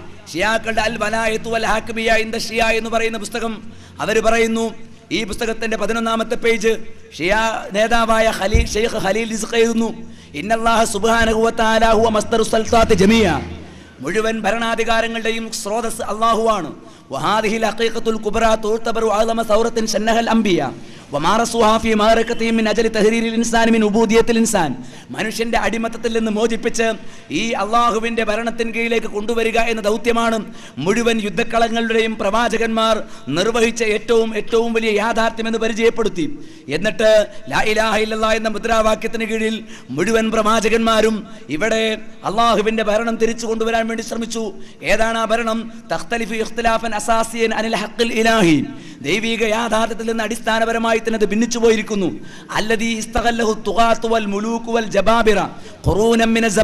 നൂറ്റാണ്ടുകളായി ഒരുപാട് ധിക്കാരികളും രാജാക്കന്മാരും സ്വേച്ഛാധിപതികളും അള്ളാഹുവിന്റെ ഭരണം കൈവശപ്പെടുത്തിയിരിക്കുന്നു. അത് അള്ളാഹുക്ക് തിരിച്ചു ഏൽപ്പിക്കലാണ്. ജമാ പിന്നെ ഒരു മുസൽമാന്റെ ഒന്നാമത്തെ ദൗത്യം എന്ന് പരിചയപ്പെടുത്തുകയാണ് ഷിയ സമൂഹം. അതിനവർ സങ്കല്പമുണ്ടാക്കി ഷിയാക്കളുടെ ഒന്നാമത്തെ വിശ്വാസം ഇമാമത്ത്. ആ ഇമാമത്തിനെ വളരെ വ്യക്തമായി പരിചയപ്പെടുത്തുന്ന വിശദീകരിക്കുന്ന ഒരു പുസ്തകമാണ് ഇസ്ലാമിക ഗവൺമെന്റ്. അഹ്ലുസുന്നത്തി വൽ ജമാഅത്തുമായി യാതൊരു ബന്ധവുമില്ലാത്ത ആശയം. ഇസ്ലാമിനെ തീവ്രവാദത്തിലേക്ക് നയിക്കാൻ പ്രേരിപ്പിക്കുന്ന വിലായത്തെ ഫക്കീഹ് എന്ന പേരിൽ പിന്നീട് ഇമാമത്ത് എന്ന അടിസ്ഥാനത്തിൽ ഷിയാക്കൾ സങ്കല്പിച്ചു പോകുന്ന ആശയം ഈ ആശയം മലയാളക്കരയിലേക്ക് ഇസ്ലാമിനോട് കൂറുള്ള അഹ്ലുസുന്നത്തി വൽ ജമാഅത്തിന് വിശ്വാസം ഉൾക്കൊള്ളുന്ന ഒരാളും കൊണ്ടുവരേണ്ട കാര്യമില്ല. എന്നിട്ട് നമ്മുടെ നാട്ടിൽ മൗദൂദിസ്റ്റുകൾ ജമാഅത്തെ ഇസ്ലാമിയുടെ പരിലാളനയിൽ വളർന്നു വന്ന സിമിയുടെ ആളുകൾ ഇന്ന് എൻ ഡി എഫിന് നേതൃത്വം കൊടുക്കുന്ന ആളുകൾ ഈ പുസ്തകം അടക്കം ഇങ്ങനെ കടുത്ത ഷിയായിസം പ്രചരിപ്പിക്കുന്ന ഷിയാ അടിസ്ഥാന തത്വങ്ങൾ പ്രചരിപ്പിക്കുന്ന പുസ്തകങ്ങൾ മലയാളക്കരയിലേക്ക് വിവർത്തനം ചെയ്തു. ചിലത് ഉദാഹരണത്തിന് വേണ്ടി ഞാൻ നിങ്ങളെ ശ്രദ്ധയിൽപ്പെടുത്തണം എന്ന് വിചാരിക്കുന്നുണ്ട്. ഏതായിരുന്നാലും ശരി. നിങ്ങൾ നോക്കൂ അങ്ങനെ കാല ആ കാലത്ത് അവർക്ക് അവർ സ്വഹാബികളുടെ കാലത്തോ താപീയങ്ങളുടെ കാലത്തോ അവർക്ക് വേരുപിടിക്കാനോ വളർന്നു വരാനോ സാധിച്ചില്ലെന്ന് മാത്രമല്ല അലീബ് നബി താലിബ് റതിയല്ലാന്ന് തന്നെ ഇബിന് സബൈനെ പിടികൂടുകയും വധി വധിക്കാൻ വേണ്ടി വിധിക്കുകയും ചെയ്തു. ചില ചരിത്രങ്ങളിൽ കാണുന്നത് കൂടെയുണ്ടായിരുന്ന ആളുകളുടെ നിർബന്ധ നിമിത്തം പിന്നീട് ആ വധശിക്ഷയിൽ നിന്ന് അദ്ദേഹത്തിന് ഇളവ് കൊടുക്കുകയും അദ്ദേഹത്തെ നാടുകടത്തുകയും ചെയ്തു എന്നാണ്. പക്ഷേ കാലങ്ങൾ പിന്നീട് മുന്നോട്ട് പോകുമ്പോൾ നാം ദർശിക്കുന്ന കാര്യം എന്താണ് എന്നറിയാമോ? പിന്നെ അങ്ങോട്ട് പോയപ്പോൾ അവർ പിന്നീട് ഒരു സംഘമായി മാറി. എന്നും യഥാർത്ഥ അഹ്ലുസുനത്തി വൽ ജമാഅത്തിനെ എതിർക്കാനും അതിന്റെ പണ്ഡിതന്മാരെ വധിക്കാനും അപമാനിക്കാനും ജൂതന്മാർക്ക് വേണ്ടി പ്രവർത്തിക്കാനും ജൂതന്മാരുടെ ഖബർ പൂജയടക്കമുള്ള വിശ്വാസങ്ങൾ ഇസ്ലാമിന്റെ പേര് പറഞ്ഞുകൊണ്ട് കൊണ്ടുവന്നു. പ്രവാചകന്മാരെ നിന്ദിക്കുന്ന മുദ്രാ വിവാഹമടക്കമുള്ള വ്യഭിചാരത്തിന്റെ വ്യഭിചാരത്തിന്റെ പാഠങ്ങൾ പവിത്രമായ വിവാഹത്തിന്റെ നിയമം തെറ്റിദ്ധരിപ്പിച്ചുകൊണ്ട് സമൂഹത്തിലേക്ക് അരാജകത്വത്തിന്റെ നിയമങ്ങളുമായി കടന്നു വന്നു അതേപോലെ ഹഷീഷും കഞ്ചാവും അടക്കമുള്ള ലഹരി വസ്തുക്കൾ ആത്മീയ ലോകത്ത് നിന്ന് ഇമാമിങ്ങൾ അനുവദിച്ചു കൊടുത്തിട്ടുണ്ട് എന്ന് ഫത്വ നൽകിയിട്ട് ഇസ്ലാമിക ലോകത്തെ തകർക്കാൻ വേണ്ടി ഷിയാക്കൾ ഇന്ന് ഇറാനിൽ നിലനിൽക്കുന്ന ഹുമൈനി അടക്കമുള്ള ഹാംനഴി അടക്കമുള്ള ആത്മീയ നേതാക്കളുണ്ടല്ലോ. ആ ആത്മീയ നേതാക്കളുടെ പഠിപ്പിക്കപ്പെട്ട ഇന്ന് ലോകത്ത് ഭൂരിപക്ഷമുള്ള ഇസ്നാശരി ജാഫരി മതേബിൾ സ്വീകരിക്കുന്ന ഇസ്നാശരി ഷിയാക്കളടക്കം ഷിയാക്കളടക്കം ഞാനിവിടെ സൂചിപ്പിക്കുന്ന രൂപത്തിൽ വ്യതിയാന ചിന്തകൾ വന്നവരാണ്. ഒന്നാമതായി അവരൊരു മുദ്രാവാക്യം ഒരു ഇവർ സിദ്ധാന്ത ജനങ്ങൾ മുന്നിൽ കൊണ്ടുവന്നു. ഖുർആൻ ശരിയായ രൂപത്തിൽ ഭൂമിയിലില്ല. അത് സുന്നികളായ ആൾക്കാർ മുക്കിക്കൊണ്ടുപോയി. സുന്നികളെ നേതാവാരാ? കാഫറായ അബൂബക്കർ സുദ്ദീഖും ഉമറുൽ ഫാറൂഖും. നഴൂദുബില്ല സുന്നികളുടെ നേതാവാരാ? കാഫറായ അബൂബക്കർ സിദ്ദീഖ്. ഹക്കുൽ യക്കീൻ എന്ന പുസ്തകത്തിൽ മുല്ലാ മുല്ലാബാക്കൽ മജ്ലിസ് എഴുതി കുമേനിയുടെ ആ വാദം രേഖപ്പെടുത്തി വെച്ചു. ആ വാദം നമ്മുടെ ഒരു പ്രഭാഷക സുഹൃത്ത് ഇവിടെ ഒരു വേദിയിൽ അവതരിപ്പിച്ചപ്പോൾ ഷെയ്ഖ് മുഹമ്മദ് കാരക്കുന്ന് പ്രബോധനത്തിൽ എഴുതുകയാണെന്ത്? അക്കുൽ യക്കീൻ എന്ന് പറഞ്ഞിട്ട് ഒരു പുസ്തകം തന്നെയല്ല. ഒന്നുണ്ടെന്ന് എനിക്ക് തോന്നുന്നില്ല. ഹുമൈനിന്റെ പുസ്തകം നോക്കിയപ്പോൾ ഞങ്ങളത് കണ്ടില്ല. ഖുമൈനിക്ക് അങ്ങനെ ഒരു പുസ്തകമുണ്ടെന്നല്ല നമ്മുടെ വാദം. നേരെ മറിച്ച് ഖുമൈനിയുടെ വാദങ്ങൾ ചേർത്ത ഒരു പുസ്തകം മുല്ലാബാക്കർ മജലസിക്കുണ്ടെന്നാണ്. ഇല്ലെന്നവർ പറയുമ്പോൾ പുസ്തകവുമായിട്ട് നമ്മൾ വരും അത് കാണിക്കും. അതിൽ കൃത്യമായിട്ട് പറയാണ്. ഞങ്ങൾക്ക് ഇപ്പോൾ ഇറാനിലാണ് ഭരണം. കുറച്ച് കഴിഞ്ഞാൽ ബഹ്റൈനിൽ കിട്ടും ഇറാഖിൽ കിട്ടും സൗദിയിൽ ഞങ്ങൾ വരും. അവിടെ ഞങ്ങൾ കടന്നു വന്നാൽ ആദ്യമായി ജിബത്തിനെയും താഹൂത്തിനെയും മാന്തിയെടുത്ത് പുറത്തെറിയും. ഏതാ ജിബത്ത് എന്ന വിഗ്രഹം? ഏതാ താഹൂത്ത് എന്ന വിഗ്രഹം? റസൂർ സല്ലല്ലാഹു അലൈഹി മക്ബറയുടെ അരികിലുണ്ട് രണ്ട് വിഗ്രഹങ്ങൾ. ഒന്ന് ഉമറുൽ ഫാറൂഖ് ആണ് അതേപോലെ തന്നെ രണ്ടാമതായി അബൂബക്കർ സുദ്ദീഖ് ആണ്. ആ അബൂബക്കർ സദ്ദീഖിനെയും രണ്ടാമതായി ഉമർ ഫാറൂഖിനെയും ആ രണ്ടുപേരെയും രണ്ട് താകൂത്തുകളെയും ഞങ്ങൾ ആ ഖബറിൽ നിന്ന് പുറത്തെടുത്തു വലിച്ചെറിയും എന്ന ഏറ്റവും ഗുരുതരമായ കുഫറിന്റെ വാചകം ഉച്ചരിച്ച ഖുമൈനി ആ ഖുമൈനിയെ മഹത്വവൽക്കരിച്ച് ഇസ്ലാമിന്റെ വക്താവാക്കി ഇസ്ലാമിക വിപ്ലവത്തിന്റെ വക്താവാക്കി അവതരിപ്പിച്ചവർ അഹ്ലുസുനത്തിൽ വൽ ജമാഅത്തിന്റെ ശത്രുക്കളാണ് പ്രവാചകന്റെയും സ്വഹാബത്തിന്റെയും ശത്രുക്കളാണ്. ഞാൻ വെറുതെ പറയുകയല്ല. എത്രത്തോളം എന്ന് ചോദിച്ചാൽ യഥാർത്ഥ ഖുർആൻ ഈ ഭൂമുഖത്തുണ്ടെന്ന് അവർ വിശ്വസിക്കുന്നില്ല. എന്താ? ഷിയാക്കൾ അവരുടെ അടിസ്ഥാന ഗ്രന്ഥം എന്ന് പറയുന്നത് അൽ ഉസൂൽ മിനൽ കാഫിയാണ്. അൽ ഉസൂൽ മിനൽ കാഫി എന്ന പുസ്തകത്തിൽ അതേപോലെ അൽ കാഫി എന്ന് പറയുന്നവരുടെ പുസ്തകം അതിന്റെ ഉസൂലുകൾ ഉൾപ്പെടുത്തിയതാണ് അൽ ഉസൂൽ മിനൽ കാഫി. അതടക്കമുള്ള മുഴുവൻ ഗ്രന്ഥങ്ങളിലും ശരിയായ ഖുർആൻ ഭൂമുഖത്തിൽ എന്നവർ പറയുന്നു. എന്താ ഷിയാക്കൾ പറയുന്നത്? ഇന്നൽ ഖുർആൻ അല്ലതി ജാഅ ബിഹി അലി ഇസ്ലാം ഇലാ മുഹമ്മദിൻ സല്ലാ അലൈഹി സ്വലം സബഅത്തു അഷറ അൽഫി ആയ. പിന്നെ ഖുർആൻ ജിബ്രീൽ അലി ഇസ്ലാം ഈ ഭൂമുഖത്തേക്ക് ഇറക്കിയ ഖുർആനിൽ ഏഴ് പതിനേഴായിരം ആയത്തുകളുണ്ട്. നഴുതുമില്ല ആകെ അറുപത് പിന്നെ ആറായിരത്തി ചില്ലാനും ആയത്തുകളാണ് വിശുദ്ധ ഖുർആനുള്ളത് ഷിയാക്കളെ വിശ്വാസം യഥാർത്ഥ ഖുർആാനിൽ പതിനേഴായിരം ആയത്തുണ്ട് ഖുമൈനി അടക്കമുള്ള ഇസ്രാശരി. ഇപ്പോൾ നിങ്ങൾ സ്ക്രീനിൽ കണ്ടുകൊണ്ടിരിക്കുന്നത് ഷിയാക്കളുടെ ഒരു തഫ്സീറാണ്. ആ തഫ്സീറിൽ എന്താണ് പറയുന്നത്? ഷിയാക്കളുടെ ഖുർആാനെ സംബന്ധിച്ച് വൽഹാസിൽ ഫൽ അഖ്ബാർ മിൻ ത്വരീഖി അഹ്ലിൽ ബൈത്തി അലൈഹിസ്സലാം ഐലൻ കസീറ. ഇല്ലം തകുൻ മുതവാത്തിറതൻ അലാ അന്നൽ ഖുർആൻ അല്ലദീ ബിഐദീനാ ലൈസ ഹുവൽ ഖുർആൻ ബിതമാമി. ഇന്ന് നമ്മുടെ കയ്യിലുള്ള ഖുർആൻ അത് പൂർണമായ ഖുർആൻ അല്ല. കമാ ഉൻസില അലാ മുഹമ്മദിൻ സല്ലല്ലാഹു അലൈഹി വസല്ലം. മുഹമ്മദ് നബിയുടെ അരികിൽ അവതരിപ്പിക്കപ്പെട്ട പോലെ ഖുർആൻ നമ്മുടെ കയ്യിലില്ല. ബൽ മിൻഹു മാ ഹുവ ഖിലാഫു മാ അൻസലല്ലാഹ് വമിൻഹു മാ ഹുവ മുഹറഫ്. അതിൽ അള്ളാഹു അവതരിപ്പിച്ചതിന് എതിരായ ആയത്തുകളുണ്ട്. അതേപോലെ വ്യതിയാനം വന്ന ആയത്തുകളുണ്ട്. വമുഹയ്യർ തിരുത്തപ്പെട്ട കാര്യങ്ങളുണ്ട്. ഈ ഖുർആനിൽ നിന്ന് ഒരുപാട് കാര്യങ്ങൾ എടുക്കപ്പെട്ടു പോയിട്ടുണ്ട്. മനസ്സിലായില്ലേ? മിൻഹ. എന്നിട്ട് പറയാം അങ്ങനെ ഇസ്മാലി അമിൻഹ ഇസ്മാലി ഇസ്മു എടുക്കപ്പെട്ടു പോയ വിഷയത്തിൽ അലി റദിവാന്റെ പേര് ഖുർആാനിൽ ഒരുപാട് ഇടത്തുണ്ടായിരുന്നു പക്ഷേ ആ പേരുകൾ എടുക്കപ്പെട്ടു പോയി. ഖുർആനിൽ ഒരുപാട് സ്ഥലത്ത് നിന്ന്. വമിൻഹ ലഫ്ളത്തു ആലു മുഹമ്മദ് സല്ലല്ലാഹു അലൈഹി വസല്ലം. അതേപോലെ മുഹമ്മദ് നബിയുടെ കുടുംബത്തിൽപ്പെട്ട ഹസൻ ഹുസൈൻ അടക്കമുള്ള ആളുകളുടെ പേര് ഖുർആനിൽ ഉണ്ടായിരുന്നു എന്നാൽ ഇന്നത്തെ ഖുർആനിൽ നിന്ന് എടുക്കപ്പെട്ടു പോയി. അസ്മാഉൽ മുനാഫിഖീൻ അബൂബക്കർ സിദ്ദീഖും ഉമറും അടക്കമുള്ള നഊദു ബില്ലാ സ്വഹാബികളെ മുനാഫിക്കുകൾ എന്ന് പറഞ്ഞു. ആ മുനാഫിക്കുകളും മുർത്തദ്ദുകളുമായ ആളുകളെ ആക്ഷേപിക്കുന്ന വരികൾ ഖുർആനിലുണ്ടായിരുന്നു. പക്ഷേ ആ വരികളൊക്കെ യഥാർത്ഥ ഖുർആനിൽ നിന്ന് എടുക്കപ്പെട്ടു പോയി. എന്നാൽ നമ്മുടെ ഷെയ്ഖ് മുഹമ്മദ് കാരക്കുന്ന് കഴിഞ്ഞ രണ്ടായിരത്തി ആറ് ഏപ്രിൽ ഏതാണ്ട് ഒരു വർഷമായിട്ടേ ഉള്ളൂ. ഏപ്രിൽ ഒന്നിന്റെ പ്രബോധനത്തിൽ എന്താ പറയുന്നത്? ശ്രദ്ധിക്കാം. ഏപ്രിൽ ഒന്നിന്റെ പ്രബോധനത്തിൽ അള്ളാഹുവിലും അന്ത്യദിനത്തിലും അന്ത്യപ്രവാചകനിലും വിശ്വസിക്കുന്ന ഇറാനിലെ ഷീകൾ നിലവിലുള്ള വിശുദ്ധ ഖുർആനെ അവിശ്വസിക്കുന്നവരോ മറ്റൊരു ഖുർആൻ അംഗീകരിക്കുന്നവരോ അല്ല. ലോകത്തുള്ള മുഴുവൻ മുസ്ലിങ്ങളുടെയും വശമുള്ളത് ഒരേ ഖുർആനാണ്. അതിൽ ഇന്നോളം ഒരു വ്യതിയാനവും ആരും വരുത്തിയിട്ടില്ല. ഇനി വരുത്താൻ സാധ്യവുമല്ല. ഖുർആാനിൽ വ്യതിയാനം വരുത്താൻ പറ്റില്ല എന്ന് ഷെയ്ഖ് മുഹമ്മദ് കാരക്കൊന്ന് പ്രസംഗിക്കണ്ട. അത് എല്ലാ മുസ്ലിങ്ങൾക്കും അറിയാം. നമ്മുടെ ചോദ്യം അതല്ല. ഇങ്ങനെ സുരക്ഷിതമായി അള്ളാഹു ഖുർആൻ ഭൂമിയിൽ സംരക്ഷിച്ചു നിർത്തിയിട്ടുണ്ട് എന്ന വിശ്വാസം ഷിയാക്കൾക്കുണ്ടോ? ഇല്ല. നേരത്തെ നിങ്ങൾ കണ്ട തഫ്സീർ അയാഷിയിലെ വരികളടക്കം തബുത്തബായിയുടെ തഫ്സീർ അടക്കം അങ്ങനെ ഷിയാക്കളുടെ തഫ്സീർ ഗ്രന്ഥങ്ങൾ പരിശോധിച്ചാൽ ഖുർആനിലെ ആയത്തുകൾക്ക് പുറമെയുള്ള ആയത്തുകൾ കോട്ട് ചെയ്തത് കാണാം. അപ്പം നമ്മൾ ചോദിക്കും യഥാർത്ഥ ഖുർആൻ എവിടെ? പതിനേഴായിരം ആയത്തിലെ ഖുർആൻ എവിടെ? അപ്പം നമുക്ക് ഖുർആൻ വെല്ലുവിളിക്കുന്നുണ്ടല്ലോ ഒരായത്ത് അധികം കൊണ്ടുവന്നാൽ അപ്പം നമ്മൾ പിടിക്കും. അതിന് ഉത്തരം അവർ കണ്ടെത്തി. എന്താ? യഥാർത്ഥ ഖുർആൻ പന്ത്രണ്ടാമത്തെ ഇമാവ് ഇപ്പം ആകാശത്താണ് ഉള്ളത് അയാളെ കയ്യില. ഒരു ദിവസം ഇറങ്ങി വരുമ്പോൾ കാണാം അന്നേരം നോക്കാം. യഥാർത്ഥ ഖുർആാനും സംരക്ഷിക്കപ്പെട്ടു എന്ന് പറഞ്ഞ ഖുർആാനും ഭൂമിയിലുള്ള ഖുർആാനല്ല. കണ്ടില്ലേ? ഖുർആാനിന്റെ വെല്ലുവിളി നേരിടാൻ കഴിയാതിരുന്ന ജൂതന്മാർ കണ്ടെത്തിയ തന്ത്രം എന്ത്? യഥാർത്ഥ ഖുർആൻ ഭൂമിയിലെന്ന് പ്രചരിപ്പിക്കുക. അപ്പോൾ പിന്നെ പ്രമാണങ്ങൾക്ക് വേണ്ടി ഖുർആൻ സ്വീകരിക്കാൻ കഴിയില്ല. അഖിലുസ്നത്തിൽ ജമാഅത്തും ഷിയാക്കളും ഒന്നാമതായി വേർപിരിയുന്നത് ഖുർആാനിനെ അവഗണിച്ചുകൊണ്ടാണ്. ഇനി ഇവിടുത്തെ ജമാഅത്തെ ഇസ്ലാമിക്കാർക്ക് ഇത് മനസ്സിലായില്ല എന്ന വകുപ്പ്. സിമിയുടെ രൂപീകരണ കാലത്ത് അതിൽ പങ്കെടുത്ത ആളുകളാണ് ആര്? യഥാർത്ഥത്തിൽ ജമാഅത്തെ ഇസ്ലാമിയുടെ വക്താക്കൾ ഷെയ്ഖ് മുഹമ്മദ് കാരക്കുന്ന അടക്കമുള്ള ആളുകൾ. ഞാനിതാ നിങ്ങളെ പിന്നെ നിങ്ങളെ ശ്രദ്ധയിൽപ്പെടുത്താം. ഇവിടുത്തെ ജമാഅത്തെ ഇസ്ലാമിയുടെ വിദ്യാർത്ഥി പ്രസ്ഥാനമായിരുന്നു സിമി. ഇപ്പോൾ ഒരു വാദമുണ്ട് എന്താ വാദം?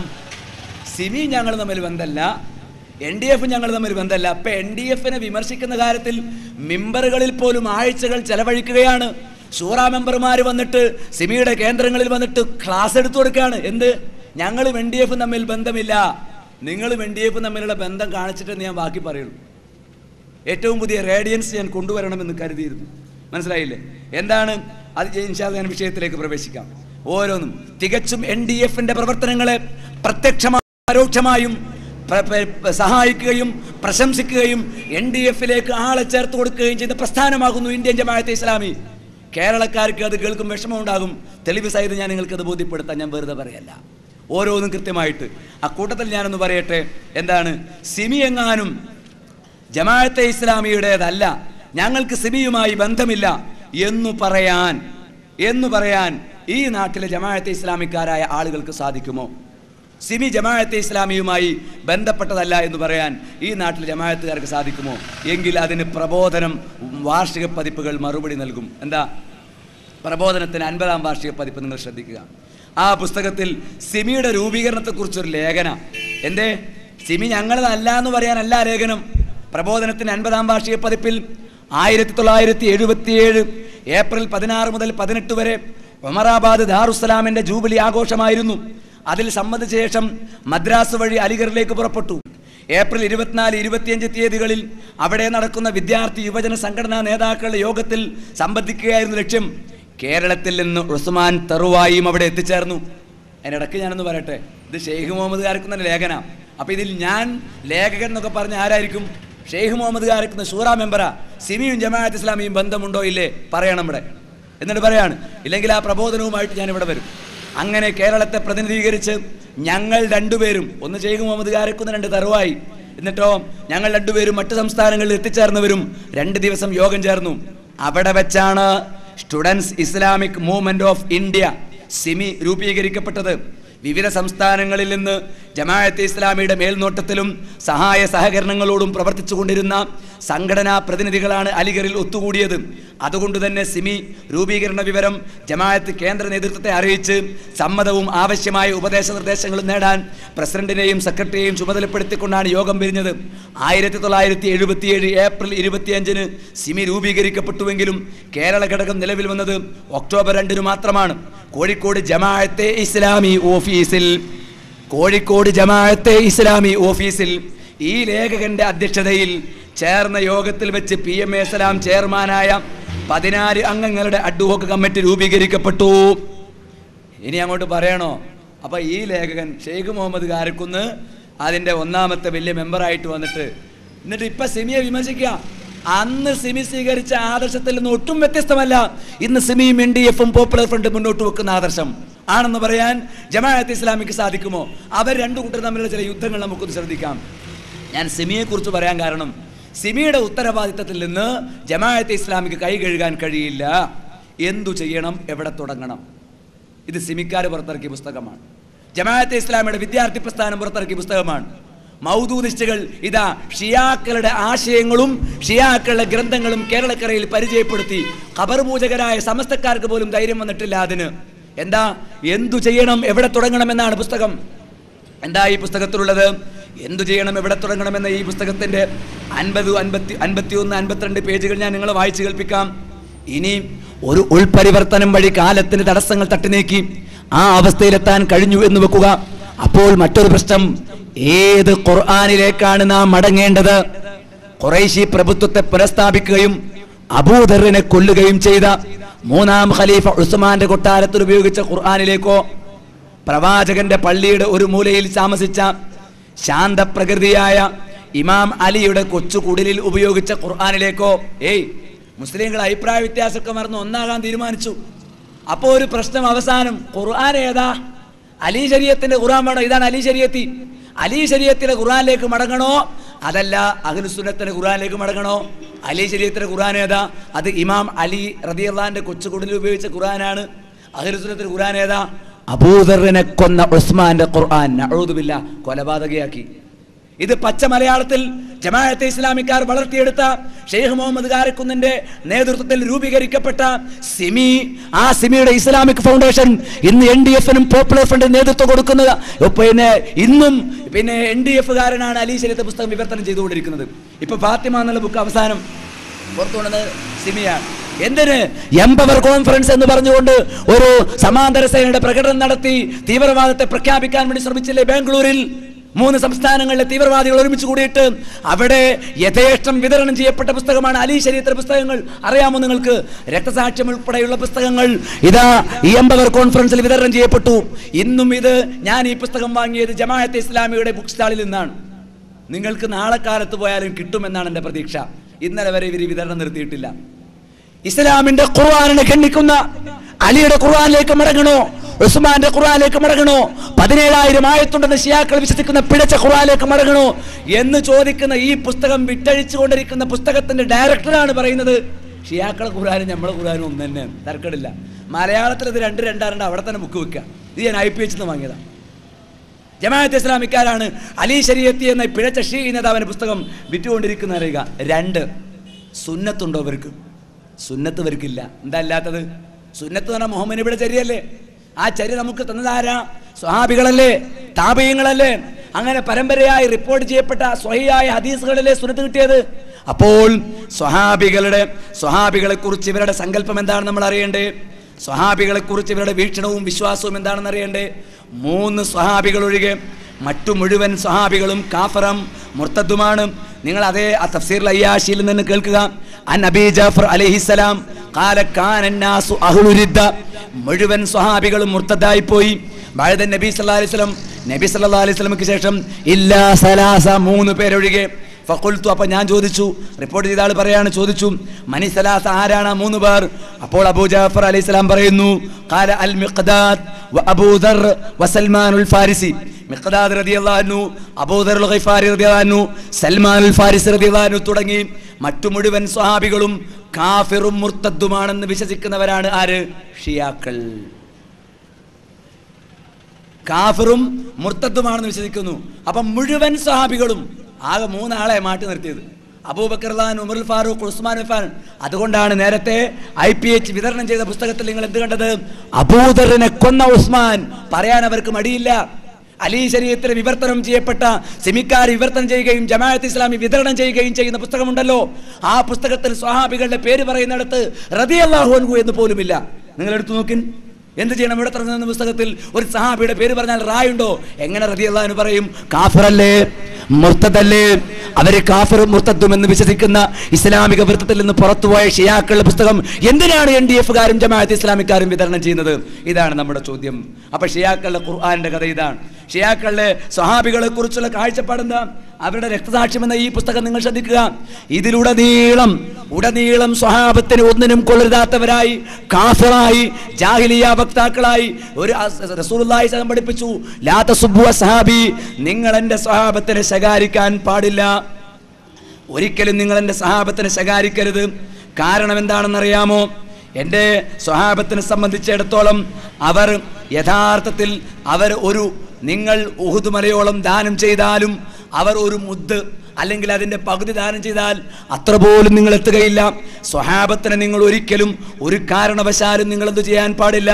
നിങ്ങൾ സ്വഹാബത്തിനെ വിമർശിക്കാൻ പാടില്ല ശകാരിക്കാൻ പാടില്ല എന്ന് പഠിപ്പിച്ച പ്രവാചകന്റെ വാചകങ്ങളെ അവഗണിച്ചുകൊണ്ട് നേരത്തെ നിങ്ങൾ കണ്ടതുപോലെ സ്വഹാബികൾ കാഫറാണ് കൊലപാതകികളാണ് മുർത്തത്തുകളാണ് എന്ന് പ്രചരിപ്പിക്കുന്ന പുസ്തകം മലയാളത്തിലേക്ക് വിവർത്തനം ചെയ്യുന്നത് അത് ജമായത്തെ ഇസ്ലാമിക്കാർ വളർത്തിയ കുട്ടികളാണ് വിതരണം ചെയ്യുന്നത്. ജമായത്തെ ഇസ്ലാമിക്കാർ തന്നെയാണ് എന്ന് കാണാൻ സാധിക്കും. അങ്ങനെ ഓരോരുത്തരെ കുറിച്ചും ഏതെല്ലാം രൂപത്തിലുള്ള പ്രചാരവേലകളാണ് ഇവർ നടത്തുന്നത് എന്ന് നിങ്ങൾ ശ്രദ്ധിക്കുക. എന്താണ്? അവരെ സംബന്ധിച്ചിടത്തോളം ഈ പുസ്തകത്തിലെ ചില വരികൾ മാത്രം വളരെ വേദനയോടുകൂടി ഇത് പറയാൻ സാധിക്കൂ. ഈ വാചകം ഉദ്ധരിക്കുന്ന ആളുകൾ ശാപമേറ്റുവാങ്ങിയവരാണ്. അള്ളാഹുവിന്റെ പ്രവാചകന്റെ നാവ് കൊണ്ട് ശപിക്കപ്പെട്ടവരാണ്. കാരണം സ്വഹാബത്തിനെ പറ്റി ഖുർആൻ പറഞ്ഞത് റളിയല്ലാഹു അൻഹും വറളു അൻഹു എന്നാണ്. അവർ അള്ളാഹു അവരെ തൃപ്തിപ്പെട്ടിരിക്കുന്നു. അവർ അള്ളാഹുവെയും തൃപ്തിപ്പെട്ടിരിക്കുന്നു എന്നാണ്. ഉസ്മാൻ ബിൻ അഫ്ഫാർ റതി അള്ളഹാനെ കുറിച്ച് പ്രവാചകൻ പറഞ്ഞത് ഉസ്മാനുൻ ഫിൽ ജന്ന എന്നാണ്. ഉസ്മാൻ അള്ളാഹു സ്വർഗത്തിലാണ് എന്നാണ്. എന്നാൽ സ്വർഗത്തിലാണെന്ന് പറഞ്ഞ ഉസ്മാനെ കുറിച്ചും മറ്റു സ്വഹാബികളെ കുറിച്ചും ഇവരെഴുതിയ വരികൾ എന്തൊക്കെയാണ്? ചില വരികൾ ശ്രദ്ധിക്കുക. രക്തസാക്ഷ്യം എന്ന പുസ്തകത്തിന്റെ മുപ്പത്തി എട്ടാമത്തെ പേജ്. മുഹമ്മദ് നബി സ്വലാസ്ലമി സ്വലാസ്ലമയുടെ ശിക്ഷഗണങ്ങൾ മൂന്ന് ചേരികളായി തിരിഞ്ഞിട്ടുണ്ടായിരുന്നു. അങ്ങനെ അവരെക്കുറിച്ച് ഓരോരുത്തരെയും വിശദീകരിച്ച് അതിനുശേഷം രംഗത്ത് നിന്ന് വിട്ടുമാറി ആരാധനാലയങ്ങളുടെ മൂലകളിൽ ആത്മസായുജ്യം കണ്ടെത്തിയവരാണ് രണ്ട് രണ്ടാമത്തെ വിഭാഗം. ഋഷിതുല്യമായ ഭക്തിപാരവശ്യതയോടെ പ്രാർത്ഥനാ നിപുണരായി കഴിയുകയാണവർ ഒരു യഥാർത്ഥ മുസൽമാൻ പടക്കളത്തെ ആരാധനാ മന്ദിരമായി ഗണിക്കേണ്ട സാഹചര്യം വിജയം പ്രതീക്ഷിക്കുന്നില്ലെങ്കിലും സമരാങ്കണത്തിൽ പ്രവേശിക്കണം. യഥാർത്ഥ മുസ്ലിമാകുന്നതിന്റെ അനിവാര്യ ഫലം എന്നോണം കഠിനമർദ്ദനങ്ങളുടെയും ആപത്തുകളുടെയും കവാടങ്ങൾ അയാളുടെ മുമ്പിൽ തുറക്കപ്പെടുകയാണ്. എന്നാൽ തദവസരത്തിൽ പോർക്കളത്തിൽ പോർക്കളത്തിലിറങ്ങി രക്തസാക്ഷിത്വത്തിന്റെ പദവി നേടി സ്വർഗം കരസ്ഥമാക്കുന്നതിനു പകരം ഈ വിഭാഗം മറ്റൊരു മാർഗമാണ് തെരഞ്ഞെടുത്തത്. യുദ്ധത്തിന്റെ ജനജനാൽക്കരണ ജനജനൽക്കാരമില്ലാത്ത ജീവിത ബഹളരഹിതമായ അന്തരീക്ഷത്തിൽ നിരന്തര പ്രാർത്ഥനകളിൽ വിലയിച്ച് ജീവിത വൈരാഗ്യത്തിലൂടെ നീണ്ട വ്രതാനുഷ്ഠാനങ്ങളിലൂടെ സ്വാത്മഹനനത്തിലൂടെ പരിവ്രാജ പരിശീലനത്തിലൂടെ ദിവ്യാനുരാഗത്തിന്റെ പരമകാട്ടിലെത്തി സ്വർഗം പ്രാപിക്കാം. ഈ വിഭാഗത്തിന്റെ പ്രഥമോദാഹരണം അബ്ദുല്ലാഹിബിൻ ഉമർ തന്നെ. അപ്പൊ ഇസ്ലാം ഏറ്റവും ശ്രേഷ്ഠമാക്കിയ ജിഹാദിൽ പങ്കെടുക്കാതെ ഒരു പള്ളിമൂലയിൽ ഒതുങ്ങിക്കൂടിയെന്നും അല്ല തൃപ്തിപ്പെട്ടു എന്ന് പറഞ്ഞ സ്വഹാബികളുടെ കൂട്ടത്തിൽപ്പെട്ട വ്യക്തിയെ സംബന്ധിച്ച് വ്യാജ ആരോപണം യുദ്ധം ചെയ്യാൻ പേടിച്ച് പള്ളിമൂലകളിൽ ഒതുങ്ങി നിൽക്കുന്നവരാണ് എന്ന് സ്വഹാബത്തിനെ കുറിച്ച് ആക്ഷേപവരികൾ എഴുതിവിട്ടവരാണ് ഷിയാക്കൾ. ഇത് വിൽപ്പന ചെയ്യുന്നാരാ വിതരണം ചെയ്യുന്നാരാ ജമാഅത്ത് ഇസ്ലാമി. ഒന്നുകൂടി മനസ്സിലാക്കിക്കോ. ഇതിന് അവതാരിക എഴുതിയതാരാ പ്രബോധനം എന്ന ജമാഅത്തെ ഇസ്ലാമിയുടെ മുഖപത്രമുണ്ടല്ലോ. ആ മുഖപത്രത്തിന്റെ പ്രബോധനത്തിന്റെ പ്രഥമ എഡിറ്റർ പ്രബോധനത്തിന്റെ ഒന്നാമത്തെ എഡിറ്റർ ടി. മുഹമ്മദ് സാഹിബ് ജമാഅത്തെ ഇസ്ലാമിയുടെ മുഖപത്രമായ പ്രബോധനത്തിന്റെ ആദ്യത്തെ എഡിറ്റർ ടി. മുഹമ്മദ് സാഹിബ് കൊടിഞ്ഞിയിലെ ടി. മുഹമ്മദ് സാഹിബ് ജമാഅത്തിന്റെ വലിയ നേതാവ് മരിച്ചുപോയി. ആ മുഹമ്മദ് സാഹിബിന്റെ അവതാരികയോടുകൂടി അതിന്റെ അവതാരികയോടുകൂടി പുറത്തിറക്കി പുറത്തിറക്കിയത് ആരാണെങ്കിലും ജമാഅത്തിന്റെ നേതാവിന്റെ അവതാരികയോടുകൂടി വിതരണം ചെയ്യുന്നതോ ഷെയ്ഖ് മുഹമ്മദ് കാരക്കുന്ന ഡയറക്ടറായ ജമാഅത്തെ ഇസ്ലാമിയുടെ ഐ പി എച്ച് ആ ഐ പി എച്ചിൽ ഇത് പ്രസിദ്ധീകരിച്ചതോ ജമാഅത്തിന്റെ വിദ്യാർത്ഥി പ്രസ്ഥാനമായിരുന്നു സിമി ഇന്ന് എൻ ഡി എഫിന്റെ നേതൃത്വം കൊടുക്കുന്ന പഴയ നേതാക്കന്മാർ തയ്യാറാക്കിയ സിമി സിമിക്കാരൻ മലയാളത്തിലേക്ക് വിവർത്തനം ചെയ്ത് പരിചയപ്പെടുന്നത് അഖിലുസുന്നത്ത് വൽ ജമാഅത്തിന്റെ ആദർശമാണോ ഷിയാക്കളുടെ ആദർശമാണോ? അഖിലുസുന്നത്ത് വൽ ജമാഅത്തിന്റെ ആദർശമല്ല ഷിയാക്കളുടെ ആദർശമാണ്. അതാണ് നിങ്ങൾ കണ്ടത്. ഇനിയോ ഇനി സാബികളെക്കുറിച്ച് കുറിച്ച് അബൂഹുറാറിനെ കുറിച്ച് ഇതിൽ പറഞ്ഞ എന്താ കേട്ടോളൂ? കുറ്റകൃത്യത്തിന് അരു നിൽക്കുകയും കുഫറിന്റെ താല്പര്യത്തിന് വേണ്ടി ഈമാനിന്റെ വസ്തുവകൾ ബലി കൊടുക്കുകയും ചെയ്യുക വഴി അക്രമത്തിന്റെ കാൽക്കൽ ആത്മഹത്യ ചെയ്യുന്ന ദുഷ്ടന്മാരാണ് തരക്കാർ രംഗം വിട്ടോടിയ ഇവർ പ്രവാചകന്റെ അനുചരന്മാരിൽപ്പെട്ടവർ തന്നെയായിരുന്നു. നഴൂതുമില്ല ദുഷ്ടന്മാർ എന്നാണ് അബൂഹുരടക്കമുള്ള സ്വാബികളെ കുറിച്ച് പറഞ്ഞിരിക്കുന്നത്. ആര്? ജമാഅത്ത് ഇസ്ലാമിക്കാര് സിമിക്കാർ എൻ ഡി എഫുകാര്. ഞാൻ വെറുതെ പറയുകയാണോ? ഈ പുസ്തകം നിങ്ങൾക്ക് നാളെ കിട്ടില്ല ഐ പി എച്ചിൽ. രക്തസാക്ഷ്യം ഈ ഈ തിരൂർക്കാടിന്റെ പരിസരത്ത് രക്തസാക്ഷ്യം എന്ന പുസ്തകമില്ലാത്ത എത്ര വീടുണ്ടാകും എന്നേ പരിശോധിക്കേണ്ടതുള്ളൂ. അല്ലേ? ഞാൻ ആദ്യമായിട്ട് ഈ പുസ്തകം കണ്ടത് തിരൂർക്കാട് വെച്ചിട്ടാണ് ഇവിടെ അസർ സ്കൂളുമായി ബന്ധപ്പെട്ട ചില പ്രവർത്തകർ അവർ ഇന്ന് അവിടെ നിന്ന് പാടി അവരിൽ നിന്നാണ് എനിക്ക് ആദ്യമായിട്ട് ഈ പുസ്തകം നേർക്ക് നേരെ വായിക്കാൻ സന്ദർഭമുണ്ടായത്. പിന്നീടാണ് ഞാനിത് ഐ പി എച്ചിൽ നിന്ന് തന്നെ വാങ്ങണമെന്ന നിർബന്ധത്തിന് അവിടെ പോയി വാങ്ങിയത്. ഇനി നിങ്ങൾ കേട്ടോളൂ. മനശ്ചാഞ്ചല്യ ലേശമന്യെ അവർ മുആവിയയുടെ ഹരിത കൊട്ടാരത്തിലെത്തി അവനവന്റെ ജീവി ജീ ഉപജീവനോപാധികൾ ഉറപ്പുവരുത്തുകയും സുരക്ഷിതമാക്കുകയും ചെയ്തു. അവർക്ക് മുടങ്ങാതെ സാമ്പത്തിക നേട്ടങ്ങൾ ലഭിച്ചുകൊണ്ടിരുന്നു. ആരായി അവർ? പ്രൊഫസർ കോയയാണോ? ഇ എം അബ്ദുറഹ്മാനാണോ? ഏതെങ്കിലും ഫൈസിയാണോ? സയ്യിദാണോ? ഏ സയ്യിദാണോ? ആരായി അവർ?